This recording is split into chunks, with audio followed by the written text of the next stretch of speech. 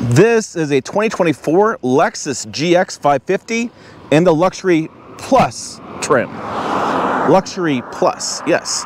Hey, it's Tim, Pickup Truck Plus SUV Talk. I had a chance to drive this at the first drive event. I have a video on the channel on this. We, we took it uh, off-roading, we explored it. But in this time, I have this Luxury Plus edition for a week at my house.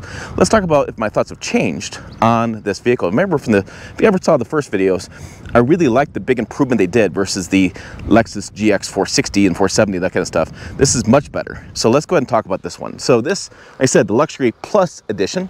The top features Luxury Plus. I have it a little bit of a, a cheater here. Uh, basically, you get a cool box, digital mirror, and you get the power running extended board. I'll show you that. We have a panoramic uh, glass roof on there, the Mark Levinson system, and the adaptive Vario suspension comes Luxury Plus. Uh, if you're thinking this thing looks like a Land Cruiser, well, sir, ding, ding, ding, ding, you are correct. It's basically the new Land Cruiser, just Luxurified. Lexified, Lexified, yeah. So we have, uh, you know, you have this more upright stance than GX versus the RX, right? This is more your off-roading, it's more for that, not so much that. And we have the bigger tires. Uh, they say 22 inch tires on the uh, sheet and uh, yeah, those things are massive. we have uh, we have the squared off mirrors. We have the, nice kind of wrap in here, that styling there, right? Uh, we have, this is your fuel, which um, does that have a button? I like when they pop out. Uh, the 22 inch wheels there as well. Come on the back, we have a little, looks like a diaper. It's not, it's a cover for the receiver hitch there. we have two ways to open the, the hatch. We can do this just for the glass, which is really handy for getting stuff in there, just reaching and grabbing stuff like, hey, my golf club's still in there. Huh, I gotta pick this up a little bit. I better get those out. And then we have this, which you can open up the whole way. You can see the tail lights wrap around there too. It's really kind of cool look. And then in the back, I have this, so I have my golf clubs in here. It's kind of an example. Yes, I left them in there for a reason. But uh, you can kind of fit one set across like it doesn't it's not enough distance between that and the rear seats. These seats do come up. This does have a third row. It's a small third row um, versus say the overtrail edition. Overtrail does not have a third row so there's the differences there. And it is a powered third row and we do have a power plug back here too. So nice if you're doing any sort of uh, you know camping or whatever you can do with this thing. We'll close that. And then we'll come over here. And here's your second row. Those are the power extending folding Jesus, I'm getting all confused. Power extending running boards. Um, one of the things I don't know if I like them so much is they just, they don't stick out very far. Oh, look at my uh, sandals, a little hair on my toe. Um, but you know, you don't stick out very far and they're just a little, just a little awkward. I'm not sure I like that design. I like to, if they pop out just a touch further, make more sense to me. A uh, little styling here. We have, there's our seats. Pretty comfortable seats as Lexus is, has comfortable seats. We have heated outboard seats. I am surprised these aren't cooled. That's been a thing lately where luxury vehicles started adding cool and ventilated second row seats. I don't know, it's a thing. Oh, and uh, yeah. That's a crop duster. Did you know they still spray crops? I didn't know that before I lived here. He's out crop dusting. Uh, we're gonna have payload should be right here. It's 1,235 pounds in the smallest print ever. And we have some seat controls there. Parking sensors, turn on that plug in the back, open the tailgate. There's our steps, we can turn them on or off. So if you're, you know, if you're off-roading or something and you don't want them to deploy, you can turn them on, turn them off. We do have uh, the hood, which I'll, I'll show the hood in a minute. Back of the house, people get freaked out when I have the hood open on the side of the road. Ask me how I know. All right, so we have the uh, screens built in here, which is nice. It doesn't feel like it's um, added on, like a iPad screen bolted to something. I like the way it's integrated. I like the way the dash line is all straight and everything just seems like it works really well. Um, Pre-production vehicle, so if you see anything that's kind of weird, it's just this is done before production started as far as built before production started. Uh, we have full-time four-wheel drive, so high four or low four. Um, locking center differential, some different drive modes, and I have auto hold for uh, that's that's a nice feature. I haven't used it very much but some people freaking love that feature where if you're at a stop sign or stoplight whatever you press that button it'll hold the brake until you're ready to go. Just hit the throttle uh, the accelerator the right pedal and move. Uh, USB's there I still have not figured this thing out. Um, I played with this on the uh, press drive. My son was playing around with it. I don't know the purpose it looks nice, but I just, I don't know. It's just, I don't understand it. So uh, there's some cup holders here and wireless charger there. Uh, so your phone goes here, by the way, which is, but I thought that was what the phone was for. And it might be another place to hold your phone. Sorry if I'm moving the camera around too much for you. But you can't, it doesn't, yeah, I don't understand it. Uh, there is some hard plastic here, which actually I like. And I like it because it's easy to clean off. Again, your design of this vehicle is to go that way more often than that way, right? So it's designed to be off-roading. So if you're trying to debate between the LX or the GX and the RX, just think how much dirt you're going to be in. That's your differences. And then we have the digital cluster there, some controls here for this vehicle. Let's go ahead and flip the camera around and we'll talk a little more about this. Oh, Digital rear mirror, by the way. If you've never seen this, boom, boom. Really good at night. Nobody talks about that. Really good at night. It blocks the glare, the glare of the headlights behind you. Okay, let's go over my cheat sheet and get all the details before I give you some my conclusions. Um, oh yeah, that's the cool box.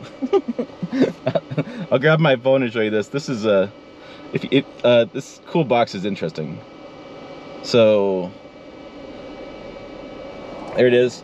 You hear that fan moving? It's a cool box. So the idea here is turn it off. It's really loud.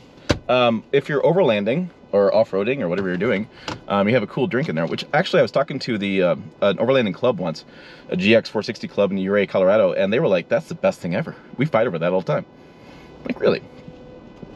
Big deal for a lot of people. Uh, not a huge deal for me, uh, personally. So this is the same platform, like I said, a Land Cruiser. We have a similar engine that they use in a Tundra, although I'm told it's a little bit different uh, block and materials and things. Uh, 349 horsepower, and we have max torque, 40, 479 foot-pounds of torque, at about 3,600 RPM, get all that max torque. 10-speed uh, automatic transmission. This tows about 7,000 pounds, 6,955 to be exact about 7,000 pounds. Uh, fuel economy, 15, 21, 17. Uh, that's city, highway, and combined. Uh, the big change this year is going to be driving. Uh, double wishbone front suspension, four link with coil spring rear suspension, and that adaptive variable, variable suspension. So the computer reads the road in front of you and can make up to like 650 different level adjustments for the dampers. So that way it adjusts to the road vibrations and road situations yeah, that kind of stuff. Uh, eminent white, white pearls exterior, interior saddle tan, and ornamentation is brown grained trim. Oh, cool. Uh, retail price $84,395. This starts about 64000 so you can, um, for the premium model, and then you add more and more features you move up. So, uh, triple beam LED headlights, the uh, oh, it's got a kick sensor in the power rear door. I didn't show you. Sorry. You put your foot down there and it opens rear door. Um, I have hit or miss with that stuff. And heads-up display, optional features include heads-up display, a digital key, which is on your phone. It's got a tonneau cover in the back. Interesting. The cold area package, winch wiper deicer, headlamp, headlamp washer, fast response interior heater.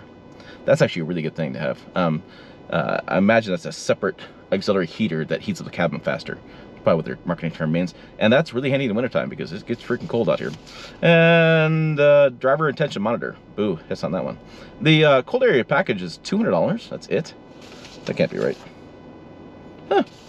200 bucks for the windshield wiper deicer, headlight lamp washer, and the fast response interior here. That is a bargain, folks. Uh, second row captain's chair is 440 bucks. Premium paint's $500 premium paint, and traffic jam assist which I have used with uh, a person who works on that system for Toyota, and it actually it does work. it, it, if you're in traffic jam, you can turn it on, and it'll kind of keep distance between the vehicle in front of you, and just kind of you just sit back and relax a lot more. You're not so stressed in a traffic jam. Uh -huh. Okay, so on the road, wow, I still like this powertrain. I still find it pretty responsive. Responsive. Um, it doesn't feel like I'm gonna squawk the tires at all, but I think it's so much better than the prior generation. It's it's almost one of those conversations that you can have with yourself saying, should I do the prior generation or should I do this one? There's no conversation. You got to do this one. This is, to me, the much better powertrain in this vehicle versus the prior generation. Hands down. Not even a question. Um, behind the wheel, you definitely sit more upright. As you'd imagine, this is more of the truck-like feel of the Lexus uh, SUVs versus say the RX, you still down lower. Um, but this one, I, I find visibility is great. Lots of visibility. I can see all the way around me. The A pillar is really small. Um, I'll put some video on the screen when I grab my phone here in a minute. And we can talk about the visibility in the cabin. The mirrors, even though they're blocky, I don't think they really, they don't interfere with my, my sight that well, that much. So not a problem there. Um, and I can get on it and go. There's a little turbo lag there when you go, you know, wide open throttle. Um, it's not as responsive as other powertrains are, but how many times you can do wide open throttle in this thing? This is, to me, it's not that customer. Um, but you can get around, you know, get around vehicles. Uh, I like the overall layout of everything. The dash, everything's easy to see, everything's easy to look at um, and to read, reachable. That's all great, but feels good. Good seats, uh, pretty comfortable. Yeah, I and I would say the adaptive variable suspension. It's been interesting. I've had some friends talk about how um, my friends and colleagues talk about two things. First, they talk about the hood kind of vibrates a little bit in the wind, and I might be able to show that um, when I get a chance with the camera. And it, it, it definitely moves a little bit, which is I don't know. It's I, I think you get used to that. Second thing they talked about was it doesn't ride as well as they thought it was going to ride. Like driving it, it's not as comfortable to drive as they thought it was going to be as far as behind the wheel. Um, yeah, I, you know, I it hits a little bit different on uh, some of the road vibrations than I expected. Um, if the road is like broken up concrete, like you know every I don't know every uh, so, so, many feet there's a there's a crack, crack in the concrete.